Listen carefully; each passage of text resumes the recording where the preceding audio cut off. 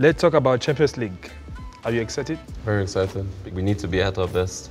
So what do you guys need to do to win? We just have to believe in ourselves and work extremely hard. We have to work for each other, and then anything can happen. And then you need a little bit of luck sometimes in That's these always, in, yeah. in these uh, uh, big games. And if we put in the work and do everything possible, then I think the luck could be on our side.